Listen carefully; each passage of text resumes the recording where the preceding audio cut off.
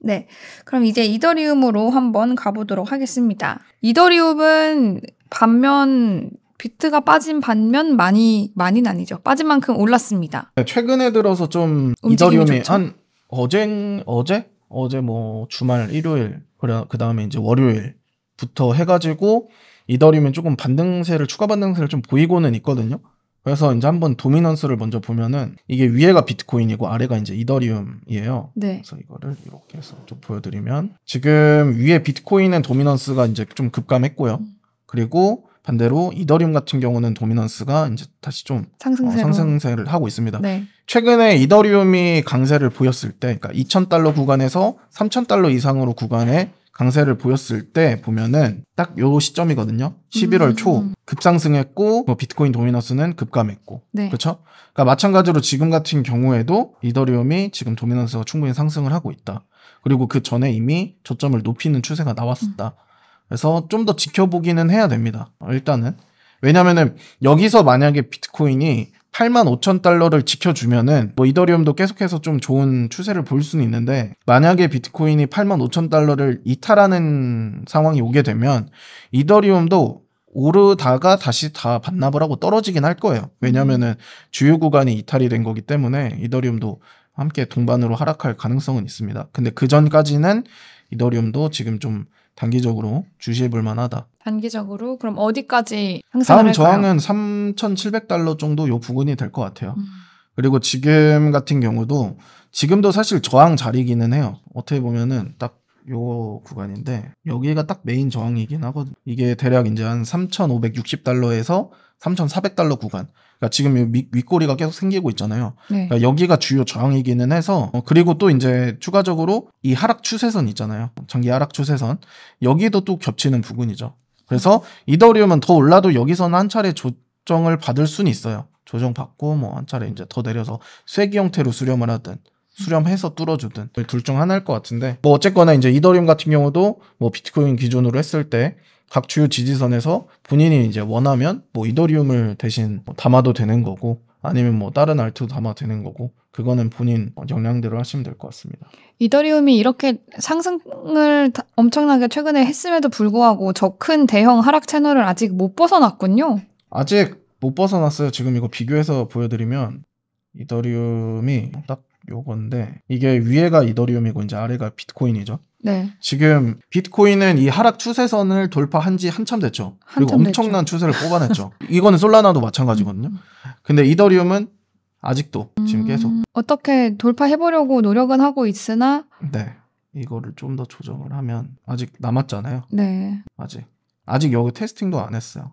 보통은 보면 비트코인을 기준으로 해서 보면 한번 딱 붙이면은 짤막하게 조정 나오고 이런 식으로 돌파하거든요. 네. 어, 그러니까 이제 이더리움도 여기까지 붙여주면은 짤막하게 조정 나오고 지지가 되면은 돌파할 가능성이 높고 음, 아니면은 너무 과하게 조정이 나온다 하면은 좀 더 횡보하다가 뚫어줄 수 있고 음. 뭐 그런 식으로 봐야 될 것 같습니다. 그 붙여주는 선이 3,700달러 였죠. 네, 한 3,600, 700 뭐 이 정도 봐야 될 것 같아요. 그래서 이더리움은 가격 상승이 많이 왔음에도 불구하고 아직 하락 채널 속에 있고, 네, 현재의 자리도 주요 저항선이고, 네, 그렇죠. 그죠? 네. 좀 이더리움은 그럼 그냥 일단은 좀 지켜봐야 하는, 아니죠. 이더리움 뭐 지금 잘 오르고 있잖아요. 네. 그러니까 장기적으로 봤을 때 비트코인보다 아직 덜하다는 거지. 이더리움 도미넌스가 아까 보였다, 보여드렸다시피 이제 이더리움 상승했죠. 도미넌스가 상승하고 있는 중이니까 뭐 이더리움에 그동안 관심이 있으셨던 분들은 뭐 비트코인 이렇게 조정이 올 때 이더리움을 담는 방향이 좋죠. 근데 만약에 8만 5천 비트코인 8만 5천 달러가 이탈이 되면 그때는 이더리움도 좀 조심을 해야 되고 음. 8만 5천 달러가 이탈이 안 되면은 이더리움이 그 기회를 살려서 비트코인 도미넌스는 직접 감소하고 이더리움 도미넌스는 높여서 횡보하는 동안 이더리움은 계속 올라갈 수도 있다. 음. 뭐 이렇게 약간 비트코인의 해지로 이더 담고 있죠. 저 8만 5천 달러 이탈 전까지는 8만 5천 달러 이탈 전까지는. 네. 알겠습니다. 자, 솔라나로 넘어가 보도록 하겠습니다. 네, 솔라나 같은 경우도 지금 보면은 아까 비트코인과 마찬가지로 장기 하락 추세선 뚫어주고 엄청나게 크게 상승을 했어요. 비트코인하고 비슷한 네, 모습인 그쵸. 거죠. 엄청나게 이제 크게 상승을 해줬는데 지금 일단은 또 이제 단기 차익 실현이 나왔다라고 볼 수 있는 그런 움직임들이 있죠. 급, 급 급격히 이제 상승을 급등을 했다가 바로 이렇게 상승분을 반납하는 경우에는 이거는 이제 우리가 추가 상승을 바로 노리기보다는 한동안 이제 횡보할 수 있다. 어, 그래서 지난주에 말씀드렸다시피 솔라나는 이제 특정 패턴을 만드는 걸 봐야 될 것 같아요. 좀 한동안은. 뭐 이게 하락 채널 형태로 뭐 이런 식으로 이제 또 나타날 수도 있는 거고. 그럼 우리가 이제 이런 하락 채널 구간에서 최대한 이 하단 구간에서 매수를 받아야겠죠. 또는 뭐 어떤 그런 수렴, 수렴이 뭐 이런 식으로 삼각 수렴이 될지. 그러면 우리는 최대한 이 하단 구간에서 매수를 받는 게 좋겠죠. 어차피 지금 솔라나 같은 경우는 이런 움직임이 좀 예상이 되니까 어, 그런 것들을 좀 생각을 해서 우리가 최대한 좀 손익비 에 도 괜찮고 그리고 우리가 손절을 좀 할 수 있는 약하게 할 수 있는 그런 구간에서 매수를 받는 것이 좋다. 그러니까 조급하게 절대 할 필요가 없다는 거예요. 솔라나는. 뭔가 비트가 한창 오르면서 다른 차트들도 보고 뭔가 할 얘기도 많고 뭐가 많았던 것 같은데 네. 이제 다시 또 뭐, 뭐라 하죠? 횡보까진 아니지만 가격대가 큰 변동이 없으면서 그냥 추세를 지켜보는 것밖에는 할 수 있는 게 없어진 것 같아요. 네, 그쵸. 근데 이 소간에서도 사실 이게 많이 올랐던 만큼 변동폭이 크잖아요. 네. 지금 솔라나 같은 경우도 고점 대비하면은 250 몇 달러까지 갔죠. 한 벌써 한 7% 떨어진 거거든요. 음. 근데 만약에 얘가 여기서 얘가 지금 1차적으로 지지받을 수 있는 중요한 구간은 220달러 부근이에요. 제가 봤을 때 220달러 부근에서는 강한 반등이 한번 나올 수 있어요.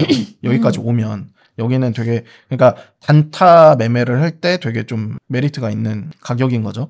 그럼 여기서 만약 기술적 반등이 나온다라고 했을 때 요까지만 올라줘도 5%나 되거든요. 그럼 이거는 단타인데도 5%면은 큰 거죠. 이 왜냐면 이게 순식간에 또 오르니까. 그런 식으로 해서 우리가 어, 충분히 이제 어떤 특정 수렴이나 패턴 형성을 가능성을 본다면 그 우리가 패턴을 기준으로 해서 하단 매, 하단 매수 뭐 상단 매도 이런 식으로 해서 계속 노려볼 수도 있거든요. 그러니까 이제 충분히 좀 여러분들이 매매하기가 좀 더 쉬워질 수는 있어요. 네. 그러면 XRP로 넘어가 보도록 하겠습니다. 이제 그 박스권을 벗어나 버린 XRP. 네, XRP도 지금 어느 정도 이제 실현 나오긴 했는데 얘는 아직까지는 좀 어, 매수세가 좀 많이 살아는 있는 것 같아요. 어, 반등도 되게 강하게 잘 나와주고 있고 그리고 지금 와, 진짜 네. 수직 상승했다. 네 완전 수직 상승이고 그래서 얘 같은 경우는 지금 잡았을 때 이때도 마찬가지죠. 지금 만약에 XRP를 무조건 난 매매를 꼭 해야 되라고 한다면 이때와 똑같은 전략을 가져가는 게 최선이에요. 이때도 수렴 횡보를 했잖아요. 네. 그럼 이 저점을 기준으로 이제 우리가 대응을 하는 방법이 있고 이때도 마찬가지로 여기가 이제 저점의 기준이 되는 거거든요. 이게 지금 4시간 봉 차트고 이게 이제 가격으로는 1.27달러 정도가 돼요. 그러면은 우리는 1.27달러를 이탈하지 않는다? 그러면은 우리가 이제 한번 시도를 해볼 수는 있어요. 근데 만약에 1, 1.27달러가 이탈이 되면 제가 봤을 때는 다음 좀 지지를 강하게 받을 수 있는 자리라고 한다면 한 요 정도 될 것 같아요. 요 정도 될 것 같아요. 이게 보면은 1.18에서 1.12가 되거든요. 그래서 일단 전략을 좀 이런 식으로 좀 유연하게 가져갈 수 있죠. 예를 들어서 내가 여기 구간에서 매수 1차 매수를 한번 받아본다. 받았는데 1.27달러를 이탈하게 된다. 이탈하잖아요. 그러면은 보통은 이제 손절하는 게 정석이기는 한데 여기서 2차 매수를 좀 크게 받아가지고 반등해서 물량을 덜어내고 나머지 끌고 가보고 아니면은 뭐 탈출을 하던 그렇게 하는 방법이 있어요. 근데 이제 여러분들이 아셔야 될 거는 지금 가격 기준에서 1.12달러까지는 꽤나 크죠. 23% 정도니까 잘 좀 그거를 조- 분배해서. 비중을 조절을 해서 어, 갭을 좀 어느 정도 잘 설정해가지고 뭐 2차, 3차 분할 매수를 잘 해야 됩니다. 근데 이거는 이- 이 리플뿐만 아니라 모든 코인이 지금 똑같아요. 왜냐하면 40%, 50% 오르는 애들은 조정이 나올 때 1, 20%씩 조정이 오니까 여러분들도 그거를 좀 감안을 해서 음. 매매를 하셔야 됩니다. 그래서 크게 오르는 만큼 또 그만큼 크게 빠지다가를 반복하니까요. 아, 도직, 아니, XRP가 박스권에 있을 때 참 편하고 쉬웠는데. 근데 그 어려워졌어요. 박스권에서 그냥 저희가 사실상 완전 그냥 답지를 알려줬잖아요. 아래 오면은 매수하고 음. 위에 오면 매도해라. 그게 너무 그렇게 쉬웠죠. 알려줘도 못 하거든요. 못했죠. 네, 못 하잖아요. 똑같아요. 지금 여기서 뭐 아무리 알려줘도 못 하, 대부분 못 해요. 맞아요. 네, 대부분 못 해요. 똑같아요. 또 저는 단타로 이렇게 하는 게 네. 어렵더라고요. 풀 보여가지고. 도지코인 한번 보고 가겠습니다. 도지코인도 이제 거의 수직 상승을 해가지고 어느 정도 고점도 두 개나 형성했고 이제 좀 약간 꺾이는 추세라고도 볼 수 있는 왜냐하면 이제 RSI도 떨어졌다는 거는 충분히 좀 많이 감소를 했으니까 매수세도 그렇게 이제 볼 수가 있는데 저는 저라면 개인적으로 저라면은 굳이 도지코인은 아직은 좀 안 건드릴 것 같아요. 아직은 좀 내가 어떤 전략을 취하기에 어 그렇게 썩 좋은 그런 위치는 아니에요. 그러니까 추세가 조금 더 진행이 됐으면 좋겠어요. 아예 그냥 이 도지코인이 여기서 한 번 더 올라가지고 고점을 한 번 더 높이고 나서 조정이 왔을 때 이럴 때를 노리기가 훨씬 더 좋거든요. 이건 확실한 이제 고점이 되니까. 근데 지금 이제 고점이 두 번 정도 형성됐잖아요. 근데 얘가 여기서 지켜주면은 한 번 더 높일 수는 있어요. 아예 그래서 지금 이때까지는 저는 그냥 좀 지켜보는 게 나을 것 같고 아니면은 아예 여기를 이탈하는 움직임이 차라리 나오면 차라리 나오면 요런 자리에서 매수를 한번 받아보는 차라리 요런 자리가 되긴 하거든요. 요런 자리가 될 것 같은데 그러니까 둘중 하나인 거죠. 차라리 얘가 고점을 한 번 더 높이고 떨어질 때까지 기다리든 아니면은 얘가 의도적으로 이 지금 여기가 강한 지지선이 되는데 이 지지선을 의도적으로 이탈할 때 여기서 매수를 받아보는 여기는 가격적으로는 0.3, 0.3에서 0.28이거든요. 그럼 대략 이거 달러로 해갖고 원화 환산하면 되니까 이렇게 해서 약간 스윕 현상인 거죠. 스윕. 약간 좀 의도적으로 이 주요 지지선, 그러니까 보통의 트레이더들이 다 여기서 손절을 걸 텐데 음. 여기를 의도적으로 이탈을 시켜서 한번 휘수를 쑥 주고 빠르게 말아 올리는. 그럼 여기서 이제 매수를 딱 받았다가 빠르, 빠르게 말아 올릴 때 한 50%는 단기 매도를 하고 나머지는 한번 가져가고 이런 식으로 전략 취하시면 될 것 같아요. 좋습니다. 그러면은 델리시움도 한번 봐주시죠. 델리시움이 뭐죠? AGI입니다. 이게 IB네. 네, 델리시움 차트. 델리시움은 지금 어, 나쁘지는 않은 것 같아요. 지금 자리 자체가 어, 나쁘지 않은 것 같습니다. 왜냐면은 지금 박스권이잖아요, 사실상. 음, 단기로 이제 박스권인 건데 이게 지금 하락 추세가 그동안 좀 길게 진행이 됐다가 얘가 사실상 최근에 좀 저점 구간에서 반등이 시도가 됐고 지금 옆으로 횡보를 하고 있는 상황이잖아요. 이런 움직임은 뭐냐면은 그냥 그 그동안의 이평선의 배열이 이렇게 있다가 반등을 주면서 이평선 배열이 역배열에서 정배열로 전환이 되는 그런 타이밍. 그러면 이제 여기서 들어 올려야 되는 거죠. 그러니까 얘는 지금 여기서 한번 쭉 들어 올릴 타이밍이에요. 음, 그러면은 얘가 어, 저항을 좀 강하게 받아, 받을 수 있는 목표가가 되는 받을 수 있는 라인은 보통 일반적으로 한 여기가 될 수 있거든요. 요 정도 위치가 되거든요. 왜냐하면은 지금 얘는 좀 늦, 늦은 거예요. 그러니까 지금 다른 알트코인들은 이미, 이미. 어, 반등이 다 나왔잖아요. 근데 델리시움은 지금 그거를 좀 시도를 하려고 하고 있다라고 좀 보시면 될 것 같고 그거에 대해서 다른 알트코인들처럼 저항이 된다면은 여기가 메인 저항이 돼야 된다. 요 매물대가. 그래서 어, 요거는 이제 그나마 조금 간단하게 우리가 좀 잡을 수 있는 게 딱 그냥 이 단기 저점 또는 이 박스권 저점을 잡으면 될 것 같아요. 이 박스권 하단을 이탈하게 되면은 얘는 다시 하락 추세가 추세로. 꺾이는 거고 근데 이 박스권에서만 지켜주면은 얘는 한 번 반등이 나와야 될 시점이기는 합니다. 제가 봤을 때. 대신에 이게 그 여러분들이 이 폭 자체도 적지가 않으니까 한 20% 되거든요. 그러니까 그것도 여러분들이 잘 또? 설정을 해야 돼요. 들어가요? 지금 우리가 막 마이너스 5% 구간, 마이너스 3% 구간에서 trading을 하기에는 그 너무 욕심이고 왜냐면 우리가 기대하는 reward가 너무 높은 만큼 손절도 클 수밖에 없거든요. 그리고 특히나 비트코인도 지금 9만 거의 9천 달러 구간에서 9만 2천까지 하락하면서 마이너스 한 7% 정도 되거든요. 그럼 알트코인은 마이너스 15% 이렇게 떨어지니까 여러분들도 그런 것들을 좀 감안해서 옛날의 변동성 5%막 이 정도 때를 생각하면 안 돼요. 아, 비중 조절도 진짜 잘해야 됩니다. 그래서 델리시움 지금 들어가요? 그렇게 물어보면 안 되고요. 그거는 이제 본인 판단하에 지금 뭐 이런 여러 가지 관점들을 말씀드렸으니까 그건 뭐 이제 본인이 판단해야죠. 네, 알겠습니다. 어, 다음 바이프로스트 한번 봐주세요. 빗썸 거래소고요. BFCW입니다. BFC. 네, 얘도 얘는 근데 좀 제가 봤을 때 거래량이 좀 적은가요? 종목 자체가 거래 대금이나 이런 거래량이 기존에 좀 많이 적은 종목인 것 같은데 음. 왜냐면은 그런 중간중간 갭도 많이 발생하고 이런 거 보면은 이거는 절대 큰 금액을 투입하면 안 되는 큰 금액으로 하면 되게 위험해요. 왜냐면은 꼬리가 굉장히 기네요. 네, 꼬리도 다. 길고 뭐가 있냐면은 이 코인 시장에서 웬만하면 갭 같은 건 잘 안 생겨요. 그러니까 candle과 candle의 이 갭을 말하는 거거든요. 보시면은 보이시죠? 네. 원래 어. 종가로 딱 닫히면 여기서부터 있잖아요. candle이 음, 시작돼야 음, 음. 되는데 갭이 많이 생기잖아요. 이런 거는 코인 시장에서 갭이 생긴다는 거는 그만큼 좀 거래 대금이 많이 없거나 음. 아니면 변동성이 갑자기 팍팍 튀거나 그런 좀 high risk 종목에 해당되기 때문에 이런 종목은 당연히 좀 큰 금액은 절대 하면 안 되고 음. 좀 적은 위주의 금액으로 한다라고 하면은 부담 없이 한다라고 했을 때 어, 얘는 지금 쐐기 형태니까 지금 요 일봉 이평선 이탈 여부만 보- 보면 될 것 같아요 사실상. 지금 쐐기 형태로 좀 상승을 하고 있으니까 요 자리긴 한데 59원 정도가 되긴 할 것 같거든요. 59원 정도 이탈 여부만 보면 될 것 같은데 지금 가격이 59원이면은 한 10% 정도 되네요. 여기 59원 정도를 일본 기준에서 이탈을 한다? 그럼 얘는 이제 위험한 거고 만약에 이탈을 안 한다? 그럼 얘는 횡보하고 추가 반등을 좀 기다려 볼 만하다 정도? 네. 큰 금액은 절대 안 되고요. 네. 그럼 다음으로 아비트럼도 한번 봐주세요. AI랑 밈코인이 워낙에 아비트럼이 뭐죠? ARB? ARB? 저 델리시움 안 갖고 있어요, 여러분. 제가 뭐 사고 팔고 하면 꼭 알려드리니까 걱정하지 마시고 저랑 반대로 가실 분들은 저는 델리시움을 갖고 있지 않다.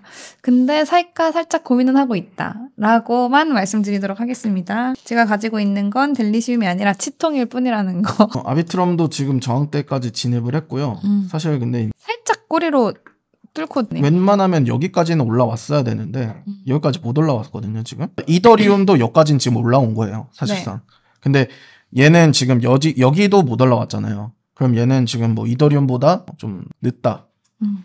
근데 되게 좀 옛날에 성장돼 있던 종목들이 대부분 좀 늦거든요 근데 이게 절대 안 좋은 건 아니고 보통 일반적으로 우리가 지금 그 알트코인이 지금 상승장이다, 뭐 폭등장이다 이렇게 생각하시는 분들도 일부 있긴 한데 제가 봤을 때 아직 폭등장은 아니고 지금은 이제 반등장인 거고 그동안 이 하락 추세에서 이렇게 있었잖아요. 그럼 여기서 횡보를 하고 저점 다지고 반등을 했다가 보통 한 번 눌리고 횡보하고 어떤 추- 추세 만들고 이렇게 상승을 하거든요. 보통은 이 저점 구간에 매물대 이 상단 부분에서 지지를 받고 추가 상승을 해요. 그러면은 지금 이번에 나왔던 움직임은 이 반등 추세라고 볼 수 있는 거고 이제 우리가 기다려야 되는 거는 이런 눌림. 네 다음 이제 재정비 타임인 거죠. 그러니까 이 본격적으로 상승하기 전에 재정비 타임. 그러면 아, 이제 아비트럼은 좀더 올라간다라고 해도 사실 여기 매물대 요 중간 정도까지만 이제 더 올라갔다가 내려와서 횡보를 할 때 차라리 이런 추세를 만들 때 우리가 들어가는 게 좀 더 안전하다. 이렇게 한창 상승하고 있을 때 말고 상승이 어느 정도 마무리되고 옆으로 이제 횡보를 밀어주거나 아니면 뭐 어떤 조정 추세를 줘서 다음 상승 패턴 만들 때 그때 우리가 들어가는 게 손절도 잡기 쉽고 그리고 다음 방향성도 예측하기가 쉽고 음. 좀 더 가능성이 높아지거든요. 다음 방향성에 대해서. 그럴 때 이제 들어가는 게 맞아요. 그래서 아비트럼, 아비트럼도 좀, 좀 너무 단기적으로 막 분봉 이런 거 보지 마시고 이렇게 한 1봉, 4시간 봉 해가지고 한창 상승하는 추세가 어느 정도 마무리되고 추세가 다시 옆으로 어느 정도 횡보를 해서 다음 이제 본격적인 상승을 준비하는 타이밍에 우리가 접근하는 것이 훨씬 좋다. 근데 확실히 이더리움은 이미 저걸 넘어선 다음 단계에 와 있는 거잖아요. 이더리움 여기까지 올라왔죠 지금. 어, 그런 거 생각하면 확실히 이더랑 상위 시가총액 상위 알트들을 거쳐야 저기들까지 힘이 가는 느낌이네요. 근데 이제 얘네가 그렇게 하고 나 재정비 기간 하고 나서 본격적인 상승을 이제 하는 시작이 딱 오잖아요. 그럼 이더리움 이런 애들은 잽도 안 되게 금방 바로 줄 맞추고 아. 더 높이 오르고. 그쵸. 그러니까 그게 이제 이제 몸집이 폭등장. 큰 애들이 네. 조금 더딘 거고 얘네들은 애들이 그 준비만 되면 사실 뭐 쏘나요? 반나절 만에 한 7, 80% 가고 음. 이럴 거라서 아직 제가 겪지 못한 그 네, 폭등장 그런 전 폭등장이 굉장히 기대하고 네. 있습니다. 금방 다 잡습니다. 예쁜 이름 코 알트 하나 들어가면은 폭등을 겪- 겪을 수 네, 있다는 맞아요. 그 폭등장 기다리고 있고요. 페페코인 한번 봐주세요. 네, 페페. 페페. 페페도 한번 급등이 네. 나왔었죠. 페페도 급등이 또 나오는데 지금은 이제 좀 횡보하는 기간이고 제가 봤을 때 여기 구간 오면 오면 되게 좀 괜찮은 자리일 것 같아요. 들어가기에 네, 좀 기다렸다가 요거는 너무 단위가 0점. 그냥 0, 그냥 0.0으로 할게요. 네. 1669 해서 0.0 1442 이렇게 뭐야 앞에 여러분 0이 3개 더 있다는 거 잊지 마시고요. 이렇게 이렇게 해야겠네. 여기 오면은 저는 되게 괜찮은 자리일 것 같고 음. 그러니까 이런 거죠. 여기 그러니까 지금 얘도 급등하고 나서 이격이 많이 벌어져 있다가 지금 기다리고 있잖아요. 조정 오면서. 그래서 이 31선 이 터치할 때쯤 있죠. 네. 가까워질 때쯤 음. 여기서 1참에서 받는 거고 근데 만약에 추가 떨어졌다? 그럼 여기서 2참에서 받는 거고 그러고 이제 가져가는 거죠.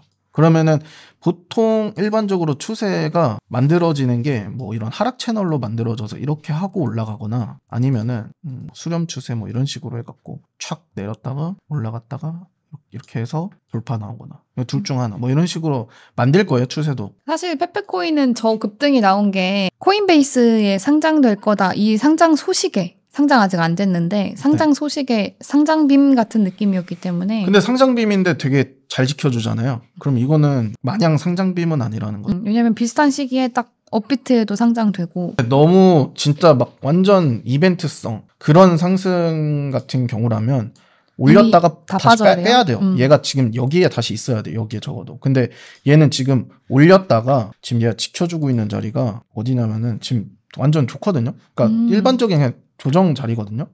그럼 얘는 이 30일선 터치할 때 1차, 2차 하고 가져가는 방향.